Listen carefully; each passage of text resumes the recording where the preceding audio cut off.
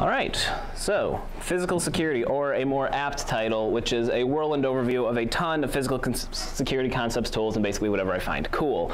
Because there's a lot that goes into physical security as a whole. There's a lot of stuff that some people have heard about, people have no idea exists. It's just you know, this miasma of a bunch of wonderful information. And so I put a bunch of really cool things in here with the uh, general idea being get some people interested in it because why not? So the hope is at some point in this uh, overview of a bunch of stuff, you'll find something that is worth going and Googling in your free time at some point. So anyway, who am I? I'm Jack Potter. Those websites have content I create. It's not very good content. I advise against going to them. Uh, my qualifications to talk about this include being at the front of the room while you are not at the front of the room. Thus, you must listen to me talk to you. Uh, also, I've been like reading every blog post and book and watching every conference talk about physical security I could get my hands on for like seven years. So no formal qualification of any kind, but just like a bunch of weird ideas in my head that are just enough to be dangerous. So today, like I said, really rapid fire coverage of a bunch of cool stuff, uh, trying to get people to find something that they find interesting. Um, yeah, that was more or less the limit to get in here. And if you know me at all, this shouldn't surprise you that this is not very organized. Uh, just kind of jumps all over the place. Most of the information and almost every image that you're going to see comes from this man, Deviant Ollam. Almost all the rest come from the open organization of lockpickers to wonderful, well, person and a wonderful organization to get acquainted with online if you want to learn more about anything that I'm going to talk about today. Uh, but first, legal disclaimer. Don't do anything stupid because like this is really cool stuff like, you know, interesting, fun, super cool. But breaking into buildings or offices or anything at all without permission is usually illegal, usually immoral, never, not, it's just not super cool, so don't do it. Uh, like all other IASG presentations, these are just tools, concepts, ideas. It's up to you to be adults and not ruin it for everybody. So by staying in the room, you agree to not mess things up for me or for IASG as a whole. If you intend to leave, please do so now. Thank you very much. Uh, so right off the bat, uh, I like legal stuff and I like maps. So I'm going to show this map of lockpick legality because that's something that people ask about a lot. Um, I like to carry around a set of lockpicks and play with a practice lock in my free time. And I've had to answer to people who ask if that's illegal. Uh, fact is, Iowa has a statute in our criminal code saying that burglary tools or lockpicks are explicitly legal. Uh, they're only illegal to possess if the state can prove that you have intent to use them to commit a crime. And because myself and other physical security and lock sport enthusiasts carry them uh, for you know the, the, hobby and the sport of it and not for criminal activities, uh, it's totally legal. If you want to look it up, it's chapter 713 of the Iowa Code, subsection 7, the, literally the only state of Iowa law that I have memorized. Um, funnily enough, Nevada is in yellow, where picks are legal, but further caution is merited. They have this kind of weird thing where picks are kind of seen as intent to commit a crime, but not really, and the laws are just never enforced because that's where DEF CON and Black Hat and B-Sides Vegas and stuff have the biggest lockpicking you know, organizations in the world. So that's kind of funny.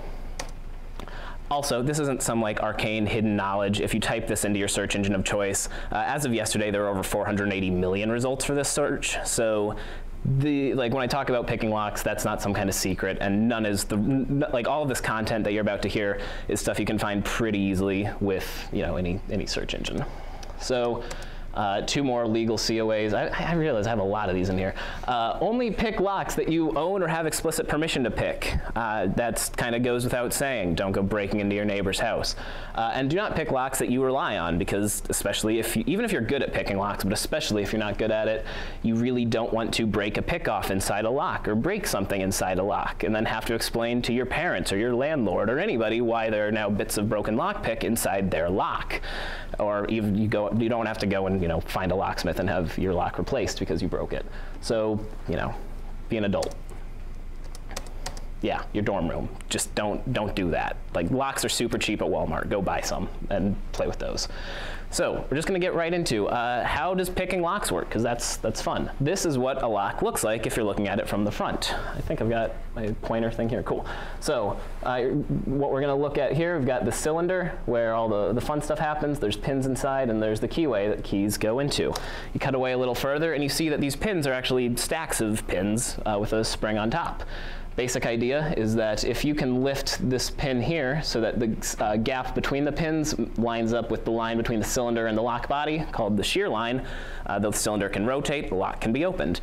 Typically, uh, when the lock is you know, locked, it can't rotate because that pin is blocking it.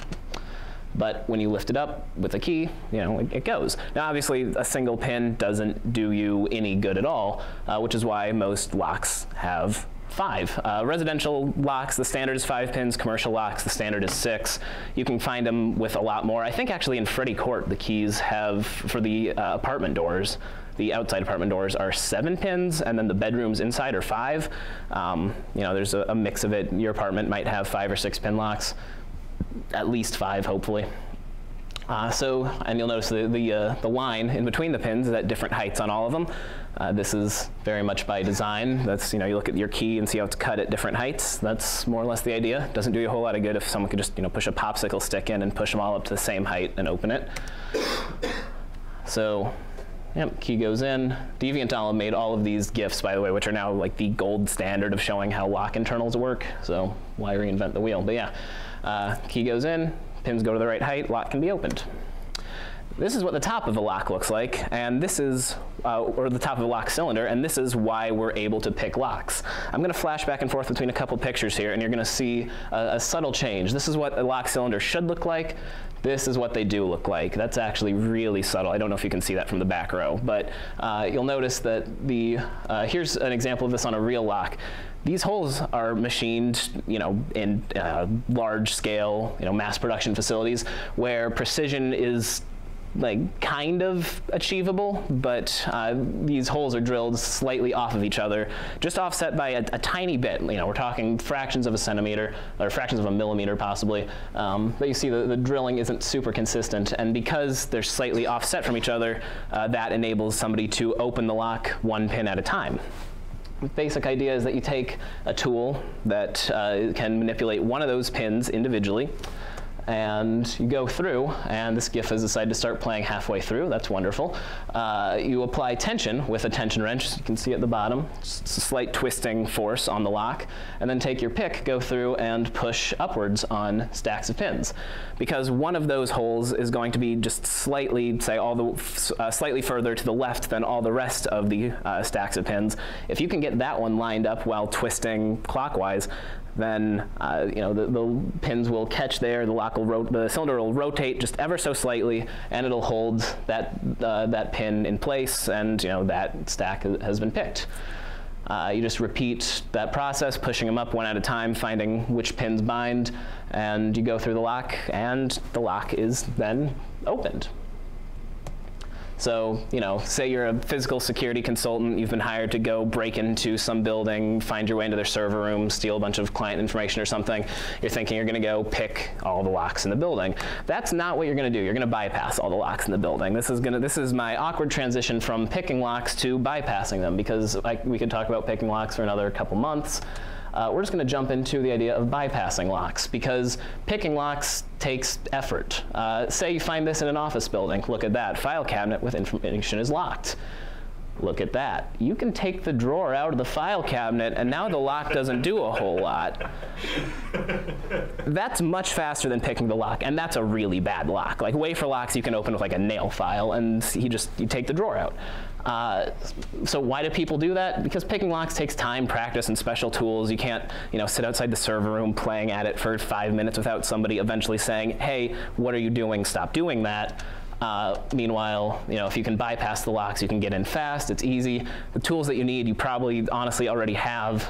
Um, yeah, this fun video posted to the uh, lockpicking subreddit.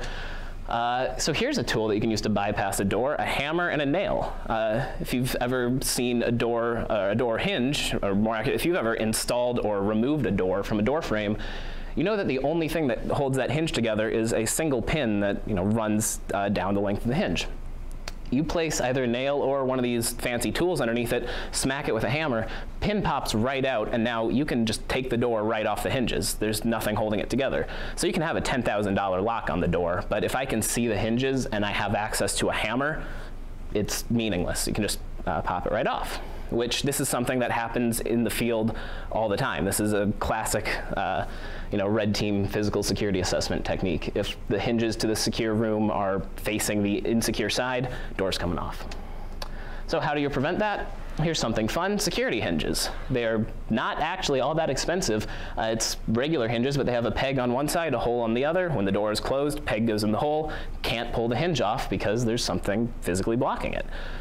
Right here you see uh, jam screws, which allow you to convert literally any door into a door with security hinges, which is actually kind of cool. You take your hinges, take out those middle screws, replace them with the uh, jam pins, or the jam screws. Now you have the uh, pegs on two sides, holes opposite, and your door is now a security, your door now has security hinges, so when it's locked, even if I can see the hinges, I can't just pull it right off. So, you know, if you happen to go into work and walk into the server room and see that you aren't using those and the hinges are on the insecure side, maybe suggest to the facilities people that, you know, maybe this is a worthwhile $3 investment to keep the server room much more secure yeah, we're just going to jump straight into something else that's related to locks because transitions are hard. Uh, these are the latches that hold doors shut. Uh, you'll notice that there's a difference between these two. This one is flat right here. This one has this little D-shaped nub coming out uh, right there. You've probably seen those on a door. You might have played around with them before and wondered, you know, what's the little thing there do? Uh, come on, slides, there we go. This highlighted bit right here is referred to as a dead latch. What it does is uh, it renders the latch dead when it is pushed in. Basic idea is if that little nub piece is pushed into the mechanism there, that latch can't be manipulated at all. Go home, try it on your door, you know, just push the little piece in, then try and push the, uh, the big part of the latch in. It gets locked up, can't go any further. Uh, and what that does is prevents people from slipping something in between the door and the door frame and just manually uh, pushing the latch in without unlocking the door. The reason this works is because the strike plates that these latches go into are frequently either not lined up correctly or they are too large. Uh, the reason for that is a lot of contractors will actually only stock the largest size strike plate that they can get their hands on because they're installing lots of different kinds of latches. And why would you want to keep track of the inventory of 80 different kinds of strike plates when you can keep track of the one largest one that fits any door? Um, thing is that renders the dead latch useless because the strike plate is no longer pushing in on the dead latch. The latch can be easily manipulated. Also, if the door isn't fit properly, if there's, I mean, this needs to be pushed all the way in. If there's, you know, a half centimeter of extra room there, uh, the dead latch does nothing and the door can just be slipped open. So here's a demo of how easy that is using actually a wonderful little tool. Ever, anybody ever seen someone use a credit card to open a door? That's a pretty classic thing. Um, so Sparrows is a wonderful lock pick and just lock company. They sell this fun little device called the Hall Pass. It is a credit card, but it's made of stainless steel and it does this. Uh, you walk up to doors. Come on. This worked earlier. You can do it. Wonderful. Walk up to doors, door is locked, take this, push it into the latch, door is now open. This works because the dead latch there uh, just does not work at all. The door isn't fit properly, so you can just push this in and uh, walk right in. Same thing works with a credit card, of course, uh, or in this case, I just used an insurance card, but door is locked, plastic slides through. I mean, that looks like the door was never even latched shut, but I swear it actually was. It's faster to open that particular door with one of these than it is with the key. Um, works from the opposite side too. If you can see the strike plate, these tools have little hooks on them. Uh, idea is pretty simple. Just, you know, obviously this case doesn't make any sense because I have access to the lock, but, you know, slip the hook in behind the latch, pop it out, and uh, it just pulls everything right out. So, you know, if you have one of those on your door, play around with it a little bit. Make sure that the dead latch is actually being engaged because a lot of people either A, have a door that is installed poorly and it does nothing, or B, actually don't understand what that does. They'll pull their door shut and then give it an extra little tug, hear a second click, and think, okay, now the latch is actually engaged, when in reality they've just defeated one of the better uh, little security uh, devices that's built into just about every door uh, sold today. Speaking of awkward transitions, we're going to talk about electronic locks. So, anybody know what this is? Proxmark 3 RDV4. It's a fun little tool that is sold. Uh, you can get them all over the internet for 300-ish dollars, 400 if you want to get some extra antennas with it. Um, these are a wonderful toy for sniffing RFID tags and then using and then uh, playing that stuff back, writing it to other tags. What do we do with that? We take these little prox cards that people use to get into and out of buildings and secure facilities and copy those. So anybody ever seen, I think it's season one of Mr. Robot, they sit in a coffee shop, they like get somebody's, somebody walks by, they sniff the ID badge, let themselves into the facility. I think that happened. Somebody please nod so I know I'm not making that up. Cool, thank you. Um, that's very much a real thing. Like that's not Hollywood made up. Like if you just have a passive RFID, you know, Prox card, uh, you can, like people can just sniff that and play it back. The Proxmark is really nice because it can either just, you know, take the, uh, copy this card and just play it back on its own or write it to uh, other blank cards that you can buy. So, you know, just print up your own card, make it look all fancy, write somebody else's credentials to it, and now not only do you have, you know, an access card dangling off your belt that makes you look like you're supposed to be there, it actually lets you into rooms in the building. So that's kind of fun. Uh, these guys uh, work with the core group. They do physical red teaming stuff. They took one of those big uh, scanners that you'd have outside a building that someone just kind of waves their wallet in the general vicinity of and it will read it and open the doors. Took one of those and weaponized it with a Raspberry Pi, its own power source, slip it in a laptop bag, and it can read, I believe they said up to about 18 inches away. So you don't even need to walk right up next to someone. They have videos demoing it where they just sit down on a park bench next to employees of whatever company they've been hired to test the security of and sit down for two, two seconds, they get the card, you know, walk away, and now they have access to whatever that employee had access to.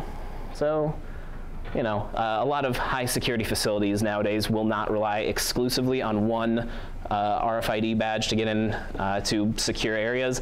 I think uh, Linus Tech Tips actually has a fun video where they go to DriveSavers and show how they do everything there. But because they're working with really confidential data, they actually uh, talk about how in order to get into secure rooms, they need to use both the RFID badge and then a PIN, uh, PIN number for, so they have uh, two forms of authentication here's something that's kind of fun, and there's even like a transition built in because it has a, a, prox card reader right there. But we're not going to talk about that. We're going to talk about the rest of this box. This is a Door King box. These things are seen all over the world. Uh, they're pretty frequently put just outside gates in uh, gated communities, outside apartment buildings, outside office buildings. You know, it's a wonderful device that allows people to, uh, you know, open a gate or a door and, you know, waltz right in.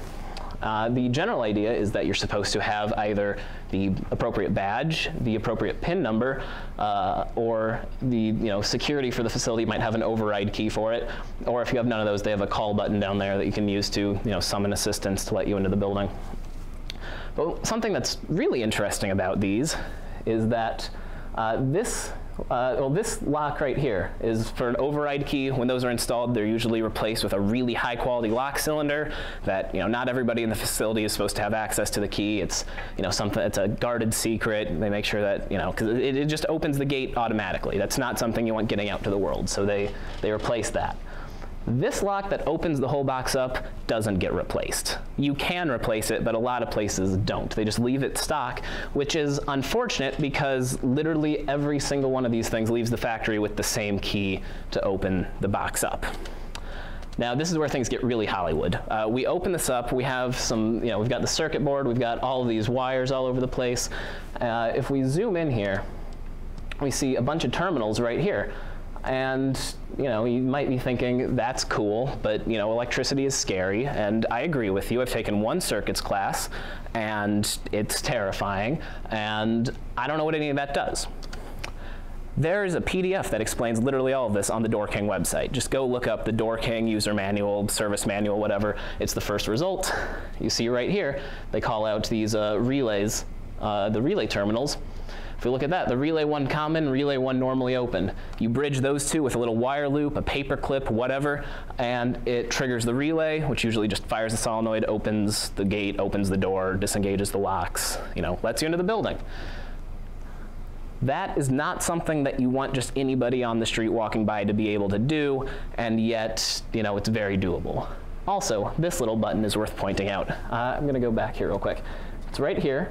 You might put together that its location on the box is uh, very close to where that override key goes. Uh, override key just uh, the, the, lock cylinder just rotates that lever, which pushes that button, which just fires all the relays that the box is connected to at once, which opens all the doors the box is connected to at once. So you don't even need a wire loop. You open this up, you push the black button, close it back up, and the door is now open. Uh, which, if you don't believe me, because you probably shouldn't, this is a wonderful video that Deviant Ollam put out explaining it. Uh, in the video, he's narrating. I don't know, do we have, I, I kind of messed with sound earlier. little override key. That's going to be useful if you're delivering packages. We don't care about that key. We care about the fact that every door king is a 16120 key. So you're going to get a momentary switch on that tailpiece, and that'll help you out. So that's not ideal, to put it lightly. Now, to be fair, this isn't some high security facility. This is just a gate at an apartment complex. He says in the description he's visiting his friend or something. And if you wanted to get by this, you don't need to open the box. If you look at the top of this here, there's this big open gap in the wrought iron. You get a branch or something, reach through and push the handle from the other side. Like, this is not, you know, the NSA but still it's kind of funny that you can just open the box and let yourself in.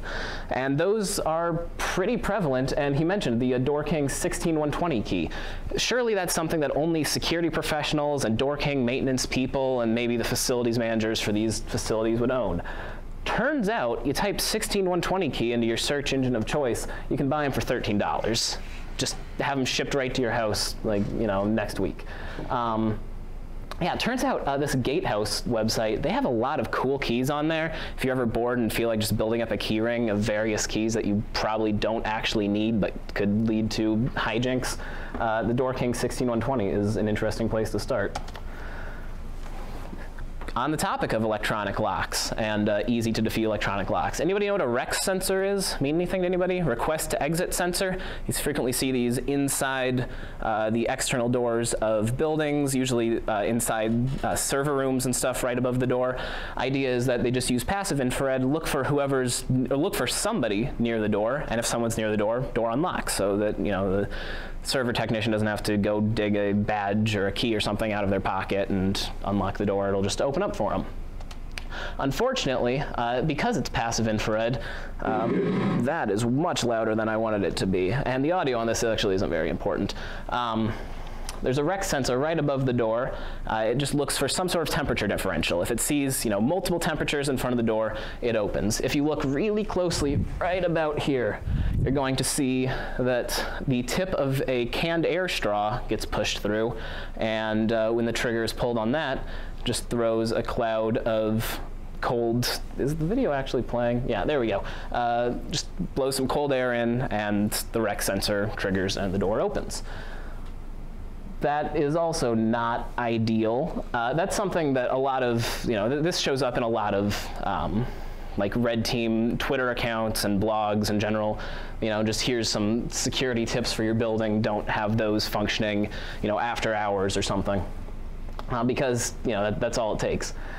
Uh, and just because it's funny, I included this. Um, another Deviant Ollam classic, somebody with his core group. They're on a job, they have this door that they want to get through. This man is outside with nothing but his nice little vape pen. And because the cloud that he blows out is hotter than the air surrounding, that is all it takes. Well, it takes two puffs apparently, but after another, doors open.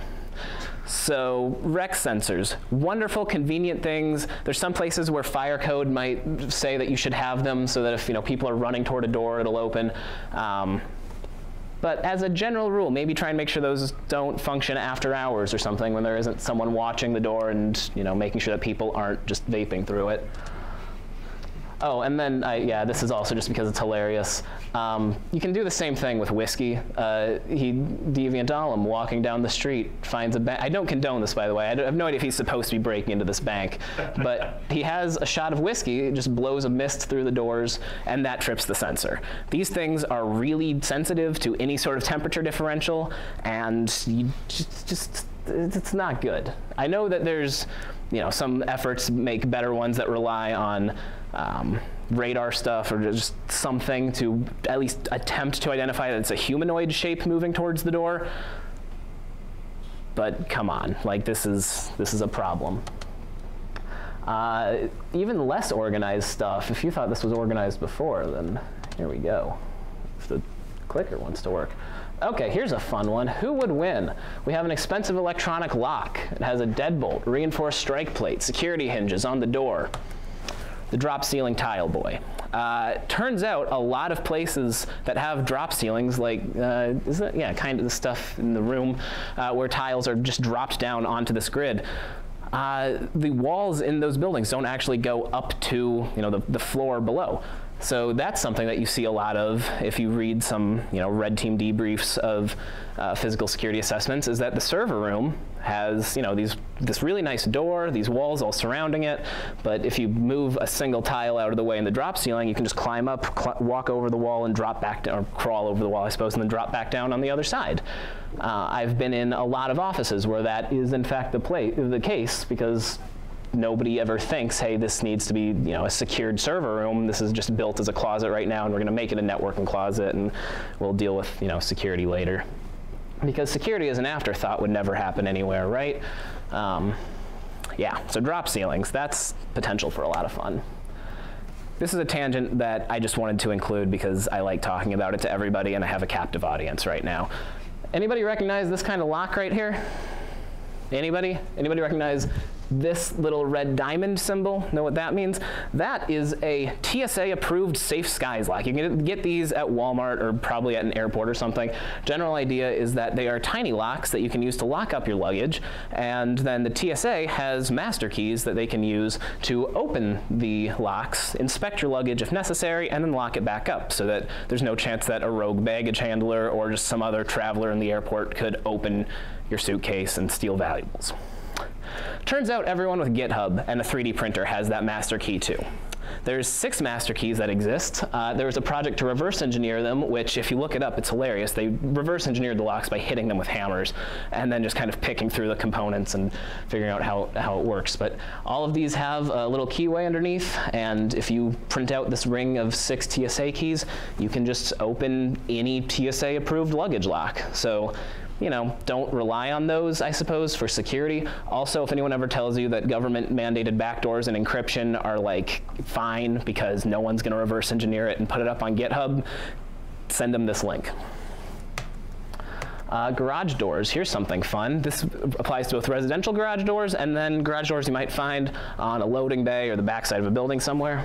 Uh, Samy Kamkar, wonderful, wonderful hacker who has produced some wonderful, interesting uh, just a whole lot of weird stuff. He's a, if you remember the MySpace days, he wrote the Sammy is my friend worm that took down MySpace inadvertently, and he's just, he's a character. He had a project called Open Sesame that he presented, I want to say at DEF CON 23. Uh, if you go to his website, which I highly recommend doing, is a 10 minute video where he walks through this whole thing, explains it, and it's uh, a, a very cool very cool idea. Uh, we don't have 10 minutes to watch it, so I'm going to give the low quality summary.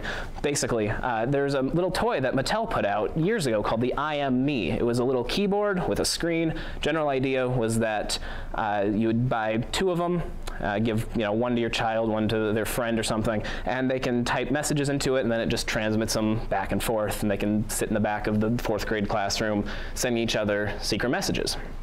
It turns out uh, these things are actually powered by a pretty powerful uh, sub-gigahertz system on a chip. It could, trans it could transmit at any frequency under a gigahertz. It was only supposed to go on a couple, but people quickly realized, hey, you can do a lot with this stuff. And what's really fun about it is that if you take the battery cover off, there's a couple little uh, test pads visible that you can just you know solder some wires to. And turns out those are all you need access to if you want to flash new firmware to the chip. So Samy Kamkar took this uh, wrote some fun code using, um, okay, Christ, what is it? The, uh, the De Bruijn sequence. Uh, it's a cool mathematical concept that I think Dan talked about at his vehicle pin pad brute forcing. De Bruijn sequence, Dan? Yeah, yeah, yeah. Cool. Okay, yeah, that's what I thought he talked about. Um, I don't understand. The math is cool. I'm not going to try and explain it right now, but basically, uh, this little kid's toy could brute force any gr residential garage door, and most commercial garage doors open in 11 seconds. So that's bad. Uh, a lot of manufacturers have moved from what they were doing, which was literally just a 12-bit passcode, which is not at all secure. Like for reference, two ASCII characters is more secure than that. Um, but uh, yeah, there's still a lot of old garage door openers that are out there, and this is something that you know security teams know about now and will uh, take advantage of. This is the most Hollywood thing I'm going to talk about probably ever. Like this is the coolest thing uh, in this presentation. Uh, look up the DEF CON 23 Van Albert and Banks looping surveillance cameras through live editing. Basically, uh, what they did, they took a security camera that's you know wired back to a security office somewhere, found the Ethernet cable, cut it open, uh, you know, untwisted the twisted pairs. They built a very cool passive tap, which uh, it, when they explain the, the hurdles they had to go through to make this work, it blow, it'll blow you away. But basically, they found a way to splice into this cable without disrupting it. They can capture UDP traffic using, they actually had to write their own network stack in Python to get this to work. It's like this whole weird black magic that shouldn't exist.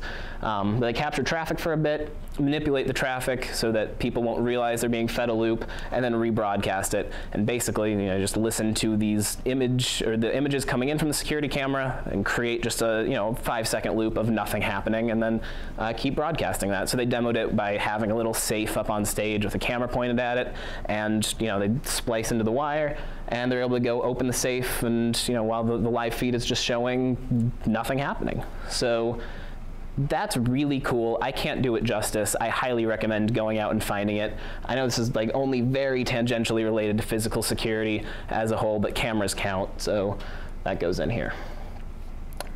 Uh, so I, what is this? I've talked for like 30 minutes, and I know that this this like barely covers anything at all. Like this is just some cool stuff that I highly recommend you go research some more of because there is, like I said, a whole world of cool things to learn here. If you want to learn more, deviating.net, Deviant Ollam is a wonderful gentleman who puts, who puts all of his presentations, all of his slides, all of the videos, everything he makes in the public domain. So you can go to, or eh, maybe not public domain, it might just be Creative Commons license. You know what, look at his website. It'll, it has all the stuff he's ever done. Uh, either way, it's cool. Uh, I highly recommend these talks I'll Let Myself In, Tactics of Physical Penetration Testers, Key Decoding, and The Search for the Perfect Door. Uh, that's three hours of your life that are well spent watching those. Uh, those are all on YouTube as well as, well as his website. Uh, Wil Allsopp has a wonderful book called Unauthorized Access. Uh, this is a book that I've had for years and just absolutely love. He goes really into the weeds of how to set up enterprise grade physical security environments, talks about cameras and motion sensors and doors and how this all needs to play together. I believe, I, I, looked this up just a little bit ago, I believe that book is available on Safari Books Online through the Iowa State Library. So if you want to read that for free and, you know, morally, you can look that up. Otherwise, I'm sure you can find a copy, you know, in a legal and moral way. Uh, there's a wonderful, uh, I keep saying wonderful, I feel like that's my, that's the crutch word that I'm leaning on here. Uh, DEF CON 18, Physical Security, You're Doing It Wrong by Delchi. It is a great talk where he gets into how, you know, he, when he uh, worked for a company that was building a new office, he was very involved in the entire process of building up the physical security plan from the ground up. And he just walks you through, if you're ever in that situation, what you do to make sure that your company has, you know, a good physical security plan in place.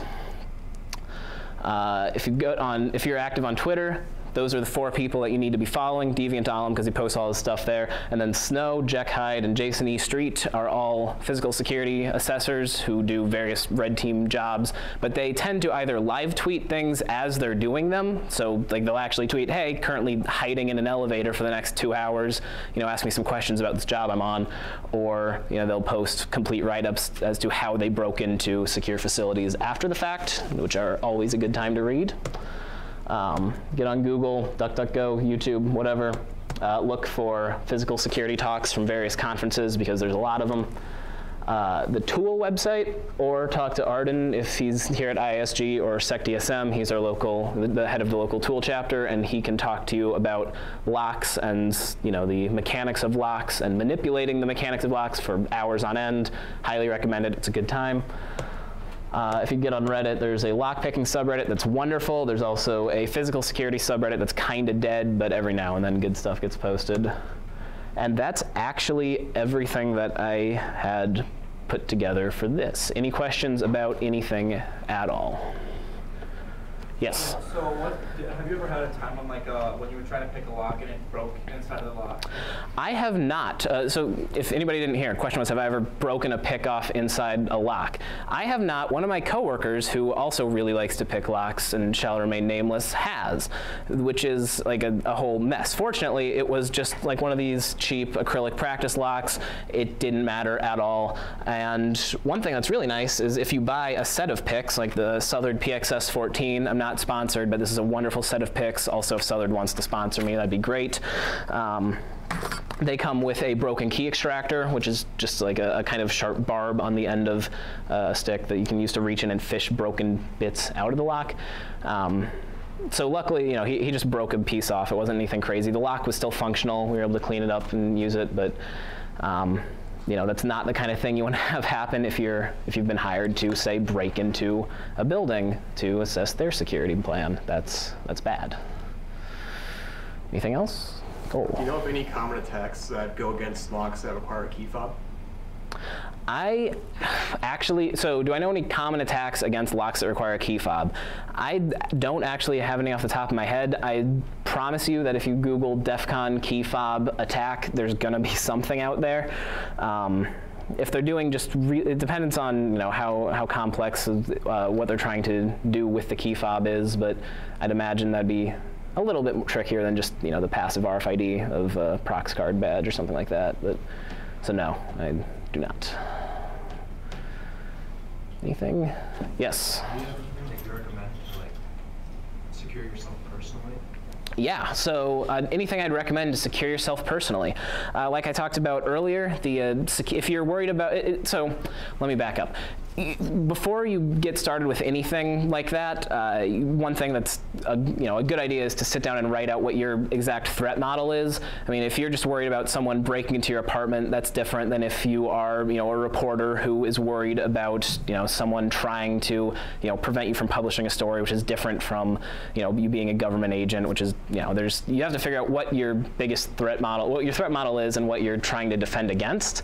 Uh, if you're just worried about you know someone surreptitiously breaking into your apartment and you know stealing something there, then the biggest things are, in my opinion, you know, having the security hinges is real nice. I, I like that idea. Uh, having a decent lock is something that you know is you know, it's well worth uh, well worth doing. If you talk to Arden, he can at SecDSM, uh, he has some great insight on what the best balance between you know consumer grade, affordable, and really really hard to pick locks are.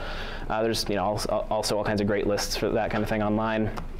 Um, but uh, like as a as a general rule, I think one thing that I always find funny, uh, both for physical security and just you know privacy stuff as a whole, people like to post things online that they really shouldn't, and the number of people who have posted, "Hey, I just got a house today," or "Hey, I just moved into a new apartment," and take a picture in front of it with their keys is way too high. Uh, if I have a picture, Deviant has a talk on this. If you have a picture of somebody's keys, it is at this point, it's trivial to uh, reconstruct that, either cutting a key yourself or 3D printing it, or just, you know, it gives you some insight of how, how you're going to pick the lock if you weren't going to remake the key.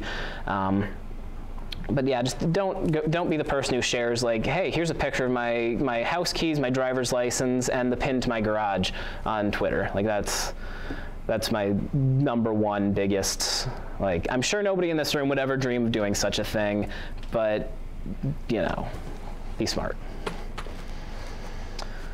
All right, if that's everything, then I know Cole wants to announce something. I also know Nick has a wonderful gift that he wants to share of a dog with everybody. So if you go talk to him about that, uh, he can do that. Or you know, you know what? Really you know what? Here, there. There you go. Oh no no no! That's the wrong window. there we go. There, Nick insisted that I do this. He tried to put it into my presentation before I started talking. You know, you're welcome. good physical security of his laptop. You know what? I don't need to justify myself to you. Anyway, that's all I've got. If you want to talk about picking locks or, you know, bypassing locks entirely or want more recommendations for conference talks or something to look at, uh, talk to me after the meeting, hit me up on Slack, whatever. I have no shortage of, you know, fun recommendations for that kind of thing. That being said, that's all I've got. So thank you for listening to my ramblings and yeah, cool. You want to